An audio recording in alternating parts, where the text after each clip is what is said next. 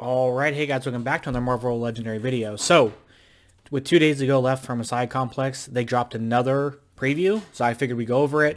So, as of seeing this video, as of today, it's January 17th, that means it's coming out in two days. I won't have my copy of it probably till Friday or Saturday, um, but I don't come back in town until Saturday anyway, so I wouldn't, that'd be the earliest I could do the unboxing of it anyway.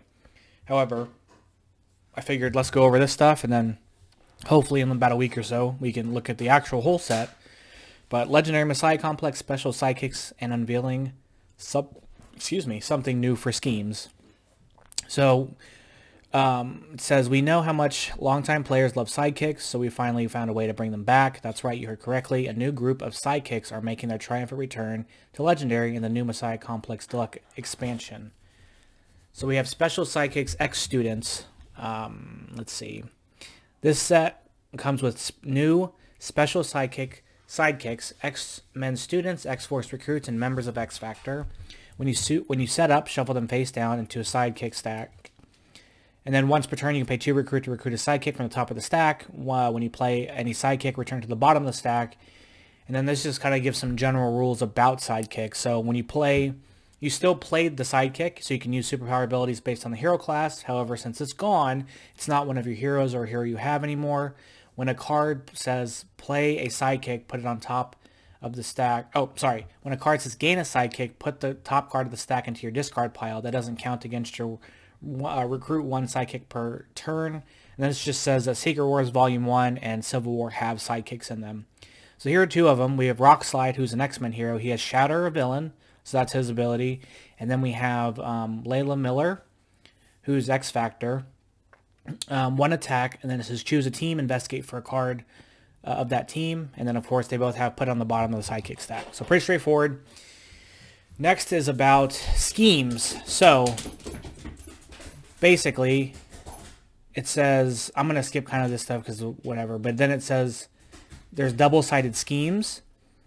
Um, basically, now we have schemes that make it so we won't know how a game may end till the mid-game.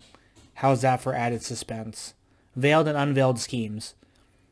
So we have the scheme of mutant kind often hides, then I'm sorry, the enemies of mutant kind often hide their true goals until it's too late.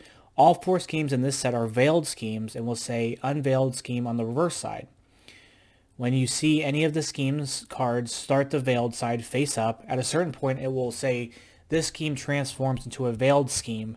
This means you remove this uh, veiled scheme from the game and replace it with a randomly selected unveiled scheme from all of the ones you own. You might randomly select the reverse side of the veiled scheme you might uh, you started with, or you could randomly select an unveiled scheme from a different card. Okay, that's going to be crazy. So the first one here is Hack Cerebro serves servers 2. So it says 10 schemes twists. This is uh, uh, twist 1 through 5, put a card from the bystander stack next to the scheme as a hacker, KO hero from the HQ with cost equal to the number of hackers. If you KO'd a hero this way, stack this twist next to the mastermind as stolen Cerebro data.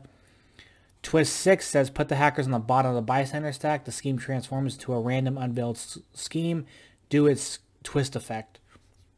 So this one is con control the mutant messiah. So when revealed, uh, twist stack next to the mastermind or manipulations. Shuffle a random extra hero into a face down mutant messiah stack. Twist. Add this twist to the uh, manipulations. Investigate the messiah stack for a card and set it aside. This turn you may gain that card to the top of your deck by spending recruit equal to its cost plus one recruit for each manipulation. If you don't, then put a card into a Fallen Messiah stack next to the scheme. Evil wins when there are three cards in the Fallen Messiah stack. Or the villain deck runs out. This is going to be crazy. So it says, uh, well, that's it for previews for Messiah Complex. What do you think? Are you excited about the Messiah Complex as we are? We feel this expansion will soon become a fan favorite.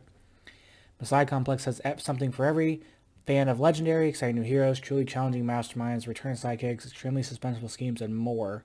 A lot of hard work went in this one, and we're very proud of what's included. We'll see. We hope you love it too. Okay, this is going to be crazy. This is going to actually be super crazy. And actually, what will be really cool is if we get these, maybe not every time, but like we got transforming schemes in uh, Revelation. So like this is going to be cool. So I'm super excited for this. This this is probably the thing I'm most excited about. It's going to be very, very uh, complicated, but it'll be a lot of fun. So, okay, so that's going to be it for that. So in a couple days it releases. Uh, as soon as I get my box, we'll do the unboxing and overview. Um, and I've also been doing some research on some other uh, single-player board games or card deck building games or card games. So I've actually got the definitive edition of Sentinels of the Multiverse coming. Uh, I bought it, so I'm waiting for it to release. So I will do an unboxing of that, kind of just going over everything that's in that game. Uh, but if you'd like to see stuff for that game, like videos for that game, I'll definitely do it too because it's superhero themed and it's uh, can be played solo. So anyway, let me know what you guys think so far. Let me know what you guys think about these sidekicks and the schemes. I, the schemes are going to be so cool. Um, but that's going to be it for today. Uh, see you guys tomorrow with a, an Alien playthrough. And uh, then Friday we've got another setup. So I'll see you guys uh, in another video. Bye-bye.